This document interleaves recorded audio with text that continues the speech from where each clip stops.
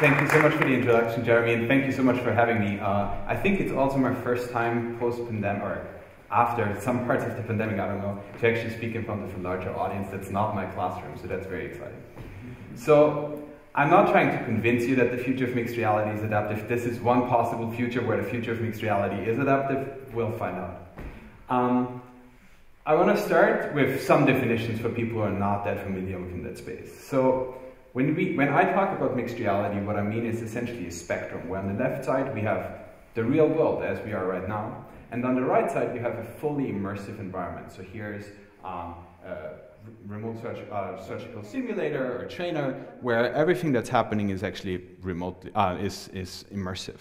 And somewhere in between, there is a space where we have the real world that is actually overlaid with virtual information.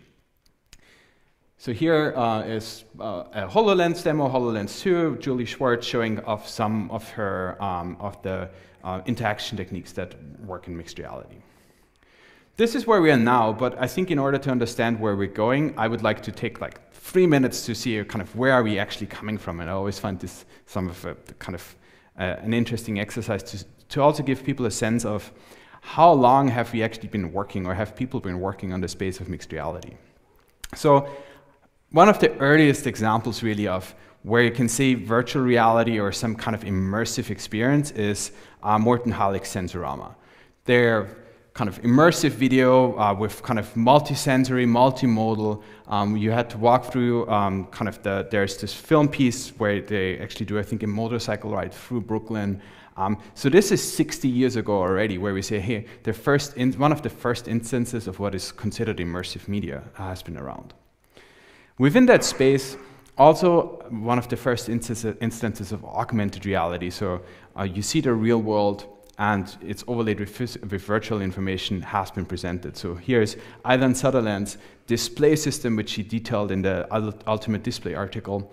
Um, so it's actually connected to the, what's called the Sword of Damocles, which is a ceiling bolted mechanical tracking system. And you could actually see 3D content that is somewhat aligned to how you rotate. So this type of augment, augmented reality has been around also for equally long. Fast forward 20 years, um, computing, kind of desktop computing, there's a lot of has happened, where suddenly in the 90s, there hasn't happened kind of a lot within that space in between, where we have VPL research with where the, uh, the person on the right, Jaron Lanier, coined the term virtual reality. And there had already a lot of interesting hardware that's not dissimilar from what we have now. So you have on the left side the data glove and the EyePhone, as they will call it, like for I, not with an I, um, the data suit. Um, so it looked very glorious, I think, kind of essentially the, the, the big headset. But it really didn't take off because the visual quality was not there where people wanted it to be for a lot of the use cases that we have now. At the similar time, gaming and simulation was one of the main usages for it. And don't be mistaken that any of this is handheld, whatever. And the second to the right, the image on the treadmill, the treadmill is the computer. So there, it's not like here, it's everything is integrated, whatever. All of these things were ten, fifteen thousand dollars, not inflation adjusted. Um, so the visual quality wasn't there, but a lot of the spirit and a lot of the ideas that are now around has been around for, for a long, long time. Again, nothing happens for 20 years.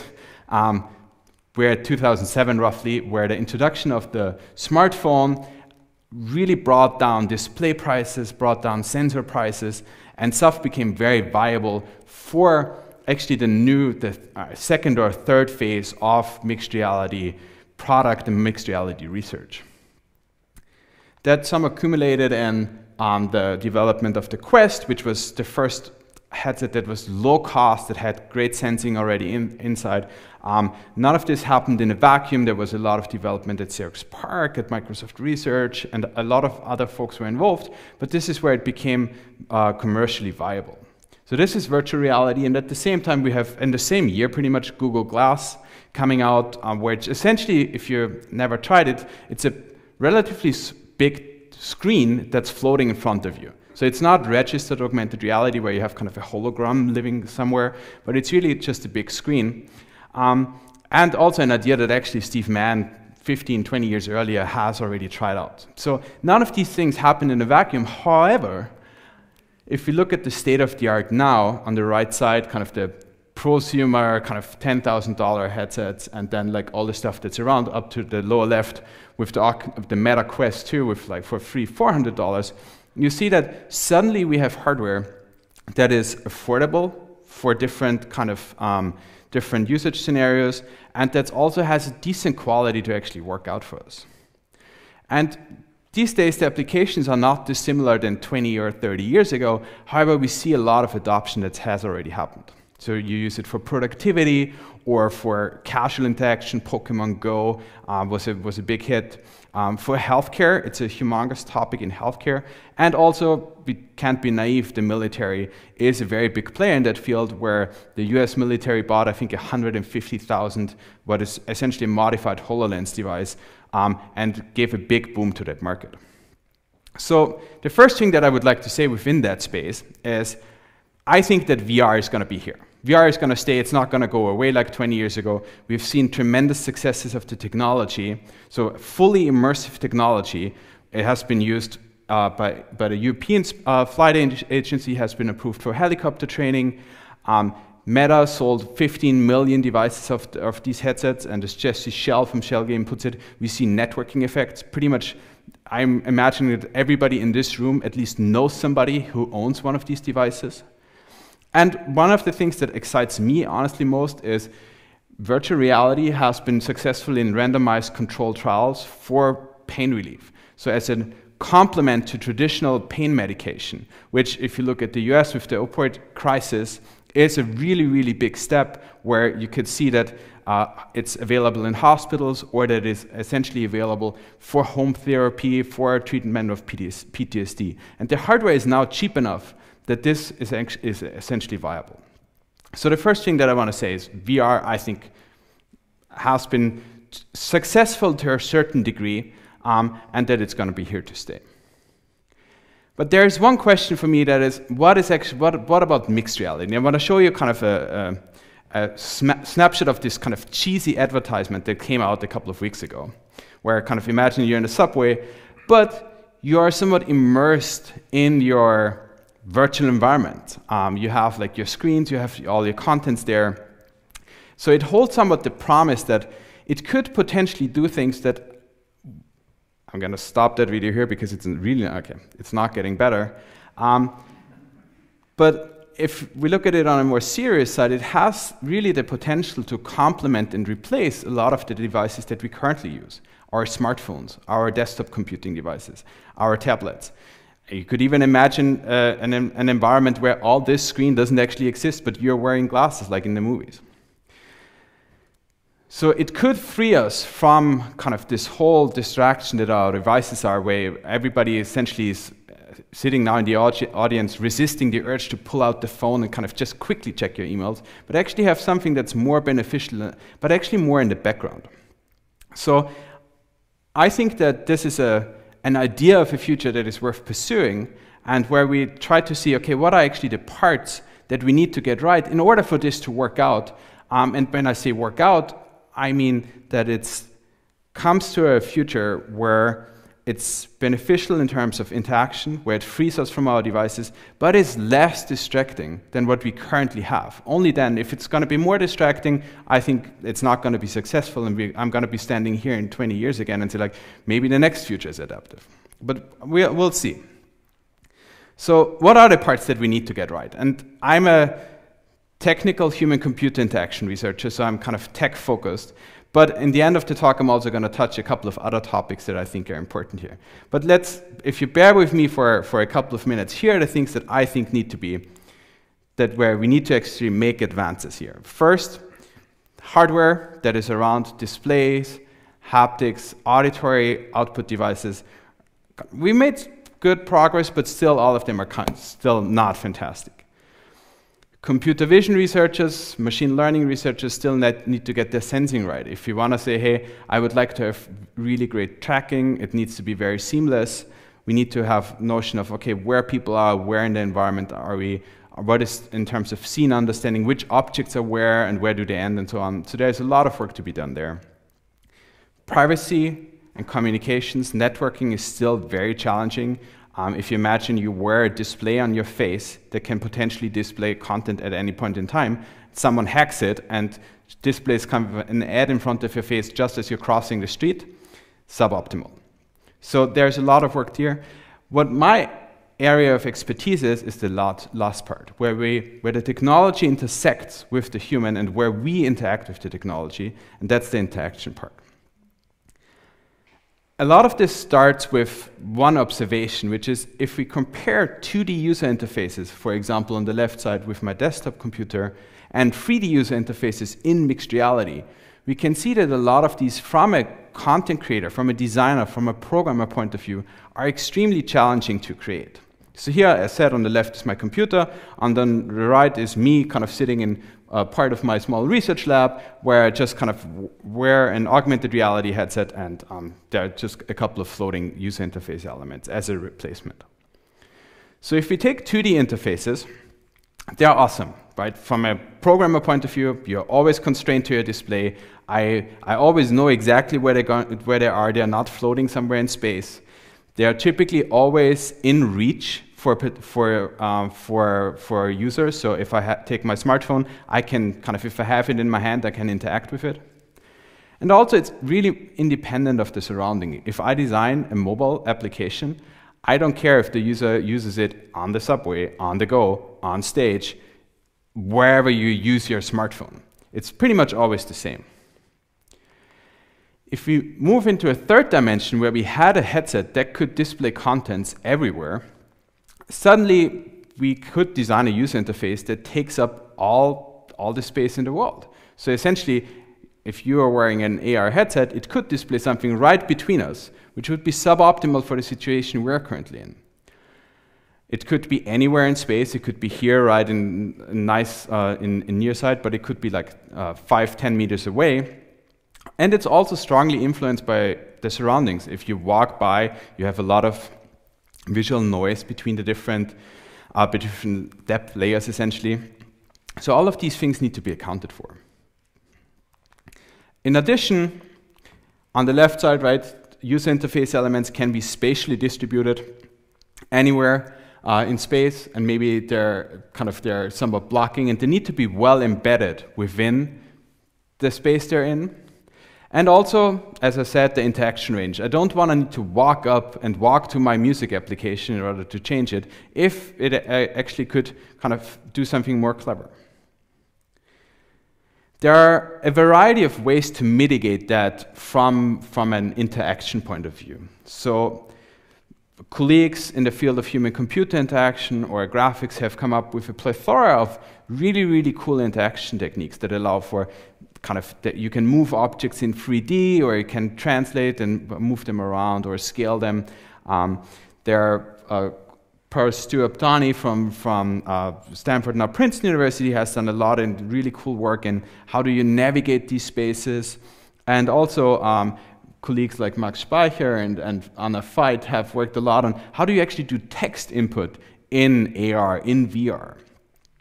Well, those are all fantastic works, but one of the challenges is still, if it's spatially distributed, it's going to be annoying to get to. If it blocks my field of view, I'm gonna be annoyed by it. So the, one of my main objectives for my research is, let's create something that's not necessarily annoying.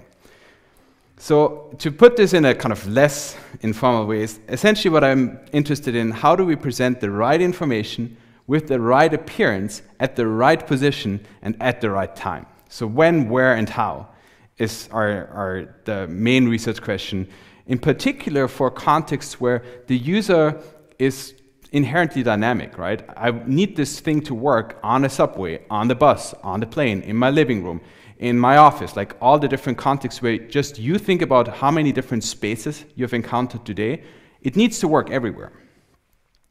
So I think there are three key components to that, and that is where a lot of research and also my research uh, works in. So one is understanding and predicting human perception and behavior. Then the second part is actually adaptive user interfaces, computational approaches for mixed reality, which is going to be a larger part of, I'm going to show you a lot of example there. And then if we figure those out, we can think about how could we actually enhance users' capabilities and performance when we were to deploy these technologies. So going beyond what is currently possible with our smartphones and actually do things that we couldn't do before. And I want to go through all three of these for the remainder of, of this lecture. So when I talk about understanding and predicting behavior, some examples of what I think we can think about is hmm, can we actually predict where users are looking at or where users will be looking at if they see a specific scene? This could give us important information of what is kind of something people care about and then say, hey, if I know that this is salient, um, for example, here the face, one place to not put a user interface element is right in front of the face of someone else, or right at a specific part of a scene um, that, that, is, that is not great. Or maybe if you think about your living room, maybe not in front of your nice painting that is on the wall or your favorite artifact. All of these are visually salient, so people's gaze is attracted to it. So those are great indicator for us to know kind of leave those alone. Other aspects that we should consider when we design for such scenarios for what we've called in the workshop always on mixed reality scenarios where you constantly where you could constantly uh, receive such information is, for example, navigation instructions. So if you think about you wear an AR headset, how would you want the system to guide you through your city? Um, this could be like on the top left, a direct, essentially translation from Google Maps, like arrows on the ground. But what we've found also is that people are more open to very different types of navigation instructions. For example, if you're strolling through, kind of, I've, it's my second time in Montreal, um, what people like if they're strolling is like an, a small avatar that just guides them through it and presents them with nice information. Or more information uh, that than arrows provide, like callouts, as we call them, that provide contextual information. And if you're really, really rushed, like on the airport yesterday, I landed at like 30 minutes to change planes, uh, to change gates, people are more open to drastic changes. Like on the right side, what we did is we presented users for that in virtual reality, actually. We made the whole environment grayscale, except for this narrow path where they actually wanted to walk. And we were interested, is this something people actually would want, or is this something that is really a dumb idea? And it turns out, within a specific context where they are rushed and you, you don't care about your surrounding, people actually appreciate the, very, the clarity of those, um, of those representations. So here we try to understand users' preference within a certain context. What else we are, what, we, what we're also interested in is, here for example, um, the concept of what is called diminished reality. So diminished reality refers to the concept of removing objects from your visual field if they're not needed. There's even a Black Mirror episode about that where they remove people um, that are not needed. Not great, very dystopian. Um, but we're still interested in is this concept something that people might appreciate for certain contexts? So here's an example which we tested in a scanned environment where we removed stuff that is not needed for a specific task. And it turns out people actually do appreciate that for a visual search task. Or if they really want to focus on kind of getting this 15 minutes of writing done or kind of getting through that email or doing whatever, that we actually remove objects from their visual field as long as they have still, still have awareness of where things are and what is going on. So in a context dependent manner, if we understand what people actually want, we can we actually have a very large repertoire of stuff that we can do to make their lives easier. And this is really the key observation that guides the second part of, the, um, of where we are, which are computational approaches for mixed reality. So this is somewhat, I would like to show you a couple of different examples where we can leverage the knowledge to really adapt mixed reality, where I think this is a key component for, for mixed reality to, to actually become useful um, in, I don't know, in a couple of years' time when the hardware and the sensing gets ready. So when I talk about computational approaches, I typically mean a three-step approach to that. One is we take some kind of contextual information. Contextual information could be where is the user? Is the user stressed? Is the user bored? Are they hungry? Are they, I don't know, are they with other people? Then we use this information and pipe it into an algorithm, into a computer system that can be machine learning based, that can be optimization based. In my heart, I'm a computer scientist, so that's the part that I find very fun. Um, however, it's underlyingly, we need, because a, a lot of the contextual information continuously changes, we it can't be up to the content creator and app designer to actually use it. It needs to have some algorithmic support. And lastly, we use that information to do something clever, um, to change the placement of a user interface element so it's, or the visibility so that it appears just right at the time when the user actually needs it, or to remove it when the user does not need it. Within the work that me and my research lab have been doing, we typically distinguish between two different areas of, um, of contextual information.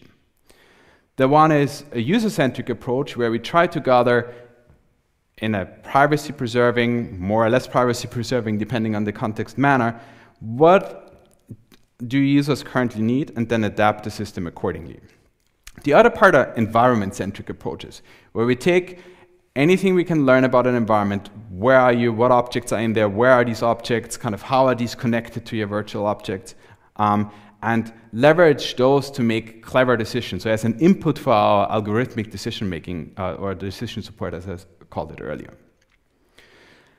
So I would like to present kind of four brief instances of that. So one is we adapt the user interface based on what we estimate their cognitive load is, or for multiple users. And on the space environment-centric approaches, we adapt the user interface based on the semantic connection between virtual and physical objects, or based on the geometry of the physical objects that are within a space.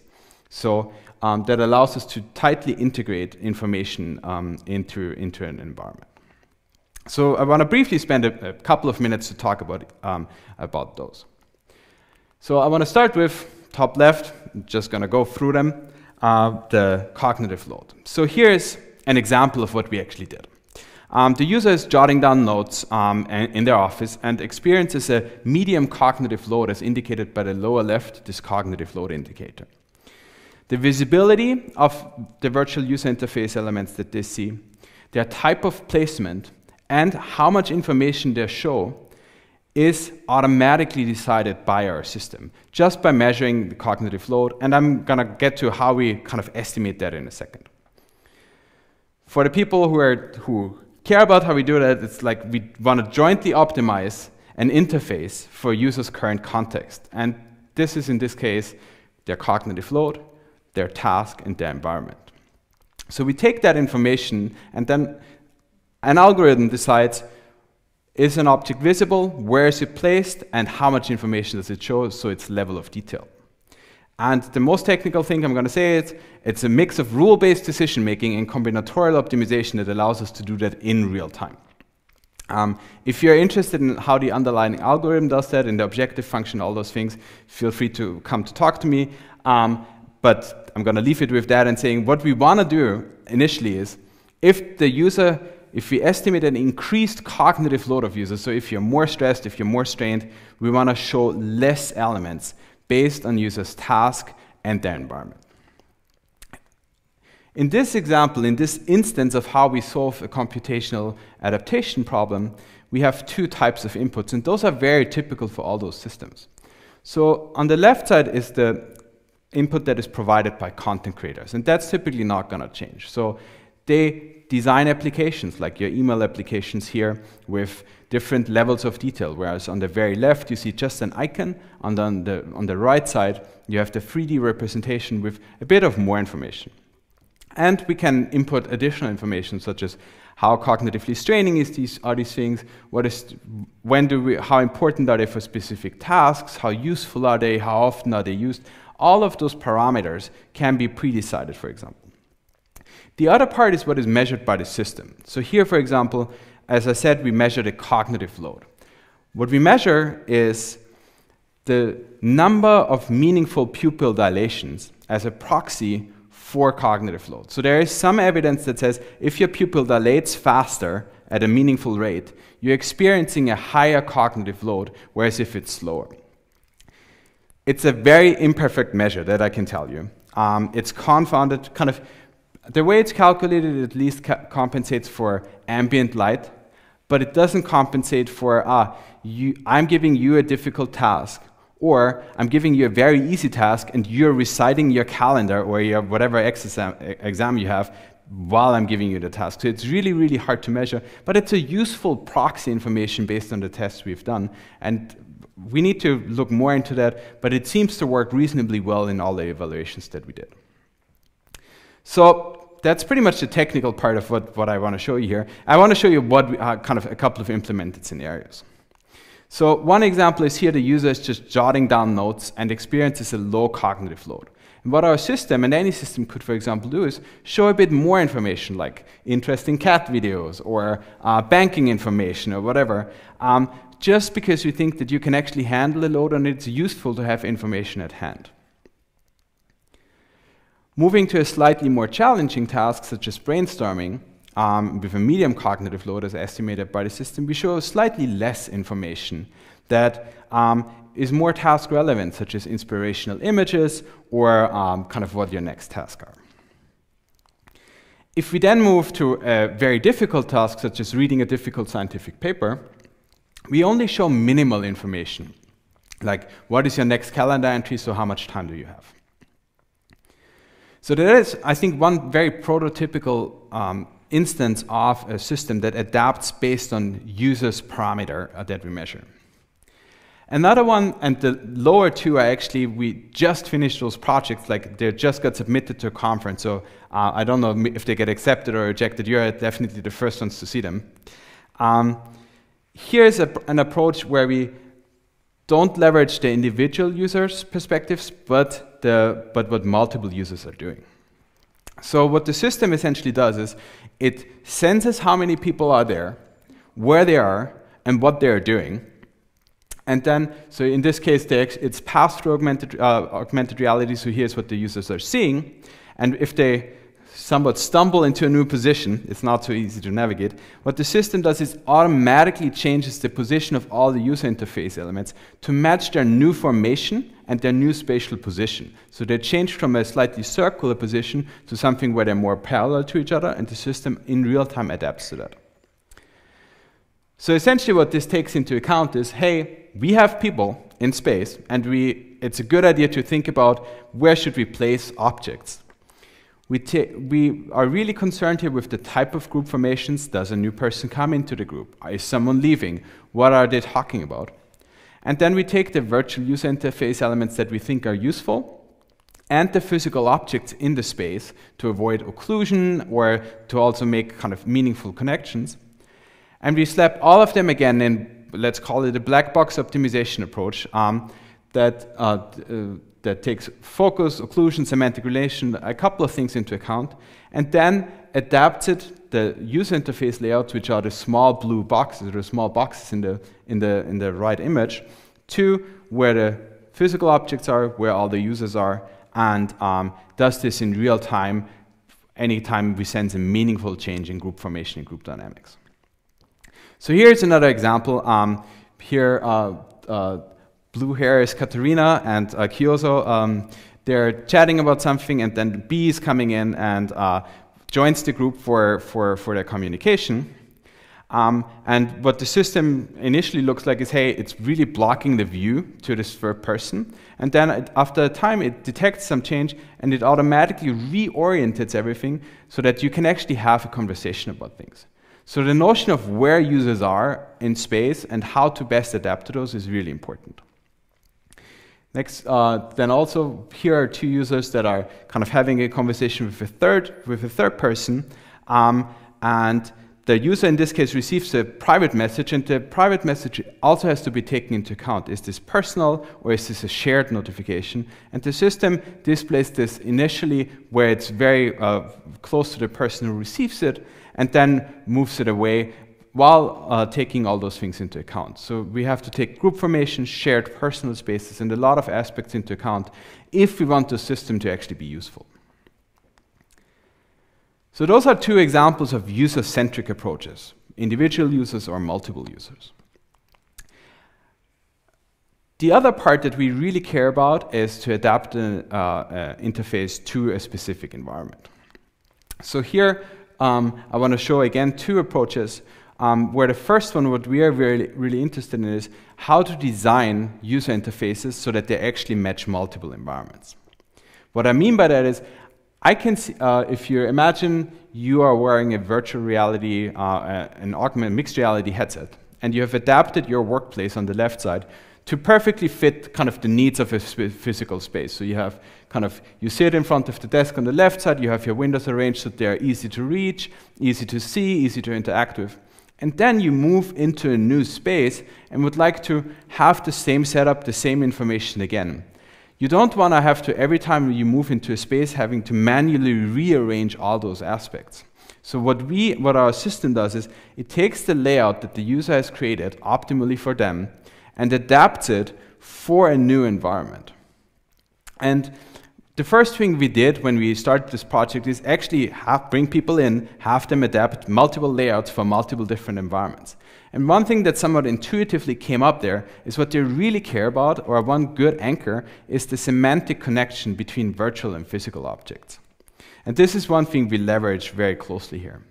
So here on the left side, uh, we have the layout that the user has generated, and they create, for example, the virtual user interface, the PDF document, has been placed very closely to the physical object, the piece of paper. We leverage, we use machine learning to find out these connections where we say, hey, paper and paper, um, brilliant algorithm, paper and PDF and other, and other things are semantically related. Take a couple of other things like, hey, we want this to look nice, we want to have like a nice utility, um, it should not be occlusion, uh, should not be occluded and other things, and then adapt the layout so that objects that are semantically related remain within close, collection, uh, close connection, even though the physical objects might have been moved. So here it's paper and paper is not brilliant, but there are other things like the music application, Spotify, virtual Spotify application. It may be a good idea to put close to your physical headphones. Um, so that if you would like to interact with it in augmented reality, you know where to find it easily, even you, if you go across different uh, environments. If the user adjusts those, our system takes those into account and then readjust those for a third layout, for example. So we continuously, we have to continuously update the information we receive from users, from the environment, in order to make a meaningful layout here. Um, I want to show you one or two examples. Um, so here's the user-created layout uh, for the task that's browsing social media. Um, you have a central window with a messenger and then some news applications um, and then a couple of videos. And when they move from one room um, okay, a couple of things at the bottom, to a coffee shop scenario, you still have a central element, but the stuff has moved slightly, has shifted slightly to the left, and the objects are still within some relation so that they make a meaningful layout. The next one I actually like a bit better, where you have a travel planning scenario, um, where the user has been planning some travel um, with, a, with a computer, and this was um, sent obviously to a, to, uh, to a different conference, some food items.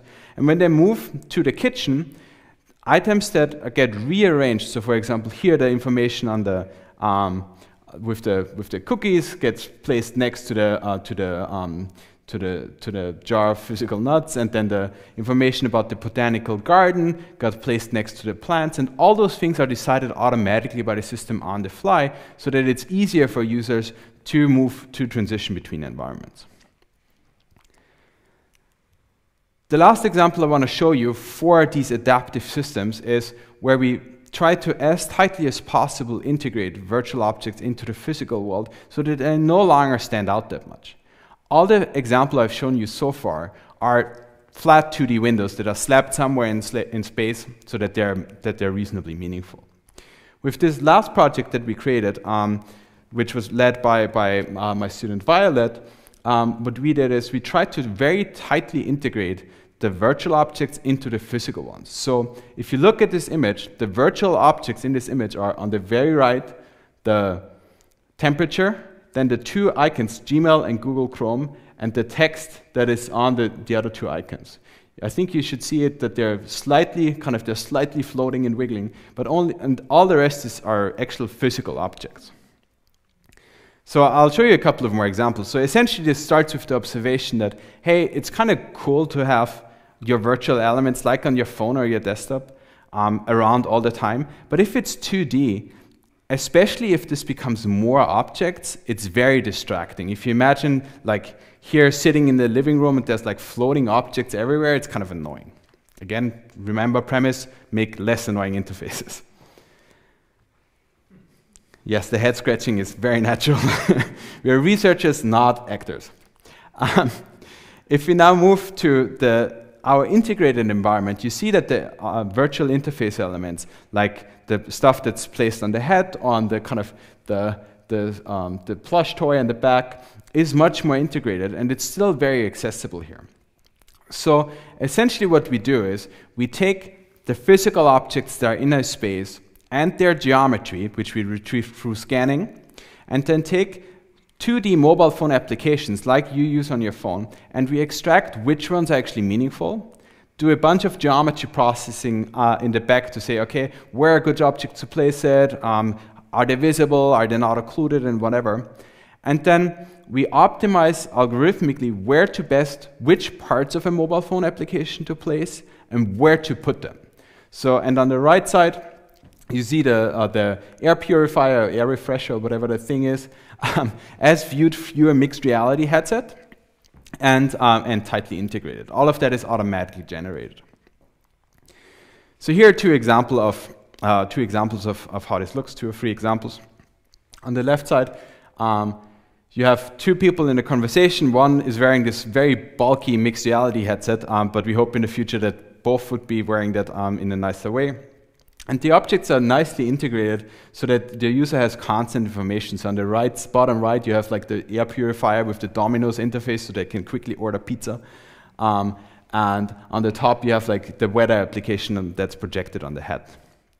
For the personal uh, application here, that's the one you've seen before, you see the objects that are non-augmented, and then if you take the view from the headset, you see that the applications have quick access icons, so that if, the, if you were to press those, the actual thing uh, could uh, very easily come up, so tight, has a tighter integration.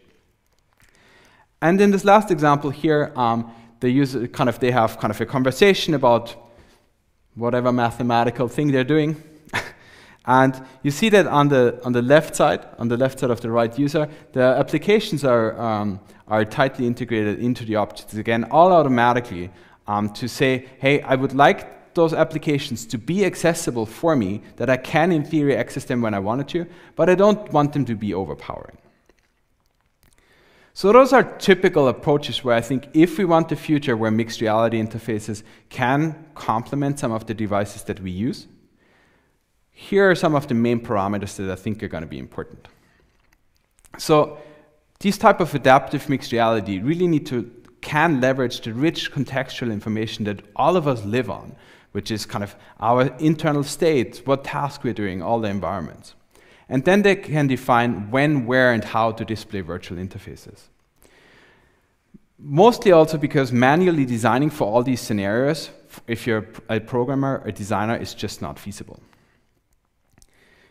It's still hard problems, right? Otherwise, it wouldn't be researched. User modeling and environmental detection, as I said earlier, are really hard. Cognitive uh, load estimation is challenging. Semantic connections are challenging. And all of these while keeping kind of the use, a user-first approach. So the user needs to be able to predict what the user interface is doing. When you open your phone and you click on your email app, you know what's going to happen. If you click an icon and you open email, but it's actually a messenger or your maps, this part would be incredibly annoying. Um, so we need to be able to have all these algorithms, but they still need to be able uh, to, you still need to be able to very tightly predict what, what's actually happening. For the last part, I very briefly want to talk about this third part that I mentioned, where we talk about enhancing users' capabilities of something that they typically can't do before. In one example um, that my student Hyunsung was, uh, um, has created. So here, um, is Hyunsung trying to kind of convince me or uh, show I'm wearing the headset in this case, and she's sorting some stuff and I get distracted. So I'm actually not, I'm not paying attention to what she's doing. What I'm wearing is a virtual, this augmented reality headset with a 360 camera. What I can do is, in situ, you see the small shadow, see what she has done while I was not, uh, while I was not looking, and can retrace all her steps. It's a system that we somewhat cheesily call missed reality. So it visualizes all the things that you might have missed. Um, and we use this here for collaborative item sorting uh, and other things. So what we do is, as you've seen, we have a 360 degree camera integrated or semi-integrated in the headset. And then we extract on the left side this uh, multiple primary regions and the user selects which one they care about. Then we kind of we take this region, remember the saliency prediction, gaze prediction that I talked earlier. Um, we predict what objects would you care about. We run machine learning to detect which objects there are and where are they. And then we combine all those things into a set of visualizations with different levels of abstraction that allow you to see, ah, where did things move? So on the top left, you have the actual, um, the actual, the thing that has happened, and then different types of visualizations from with varying level of abstraction, just motion lines, then the shadow, and then the actual object that is moving. And users can choose which of those they like.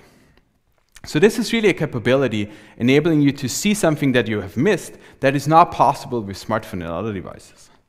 So here is a couple of examples of what we did. Is here is a progress check, uh, check of personal trainer that doesn't pay attention. Uh, Hyunsung tries to cheat. Um, trainer kind of can actually go back and see what is going on uh, and essentially visualize how many repetitions she did uh, and then kind of correct for that. Um, we think there is actually kind of, these are somewhat fun examples, but um, if you think about an educational scenario, maintenance, where you say, hey, let me show you how to fix this engine, but you also have to take notes at the same time, um, this can be very valuable. If you go to a sports game, there's kind of some interesting stuff happening while you are distracted with, someone, with something else. Um, you can go back and, at your own pace, see what has actually happened. So here is kind of the canonical cooking example, which is a complex task. So those are, I think, the main three components when it comes to really designing a future of mixed reality where it, become the it can become the next paradigm in computing when we move from mainframe computing, desktop computing, smartphone computing to potentially something that's going to replace and really change how we interact with digital information. There's a lot of stuff to do. And all of the things that I think are key components are still open challenges. None of these things is somewhat solved. As a bonus, there are like a thousand different things that also don't work. I'm here at CIRMMT, right? Mixed reality currently, a lot of the research is predominantly in the visual domain. Uh, how the headsets work, how um, really a lot of the interaction works. But we are more than just visuals. There's a lot of very interesting works, work on uh, auditory augmented reality, but really multimodal and trying to find out under which context, which information is the best to display is going to be key for any kind of useful type of um, mixed reality. We don't have a lot of experience with large context changes for these systems, so what happens if you really were to move from the living room to the office to outside? How should those systems behave? One of the things that I find super exciting is that actually none of this works. So we can actually build the technology with things like accessibility and user models in mind there. We say, hey, this is not a technology that is developed um, and then kind of as an afterthought we make it work for, uh, for users with visual disability. No, we can actually include those in the ground up. In terms of accessibility, so Yuhang Zhao is doing fantastic work and use, leveraging the technology but also in terms of privacy. The mixed reality project that I've just shown you should, I hope, give you, gave you goosebumps in terms of privacy. Right? There's someone with a 360 de degree camera continuously monitoring me. So a lot of these things have to be negotiated on a societal level. What are we comfortable with and in what context? Plus, on a system engineering context, imagine you're wearing your AR headset and someone decides, as I said, to block your view just at the right time that you get hit by a bus suboptimal and annoying. So you really don't want it. So we can actually have these things uh, built in. And lastly, we also, I mean, I'm kind of enthusiastic about some of the technology, but also we always need to be careful, right? If you think about, I'm not sure when was the last time you were at New York Times Square, it's busy. It's visually busy, it's auditorily busy, it's a lot of people, there's a lot of stuff going on. And now imagine that at every single instance of your life, that it's filled with stuff. Uh, here's Keiichi Matsuda's Hyperreality, and it's a, I said that in the workshop, I highly recommend watching some of his movies on, it's a seven minute movie on YouTube, about what could actually happen if we had a technology that can display anything anytime, uh, anywhere and looks like that. I would throw it out, and you should rightfully so too. Nevertheless, I'm still excited um, that what we have achieved so far and what is going to come. If you think about 50, 60 years back, um, I don't think that any of that is going to happen within the next six months. There, there are continuously significant developments that make me hopeful that we actually can get some of the stuff right. But I'm excited to actually maybe at some point even get rid of our phones that we only have for 15 years, so feels longer. But I think there's an exciting future ahead especially when we take all the multimodality into account and have systems that actually are beneficial and less distracting. That's it from my side. Thank you so much for coming out to, uh, this evening. I think we have a couple of minutes for, for, for questions. Thank you so much. Thank you.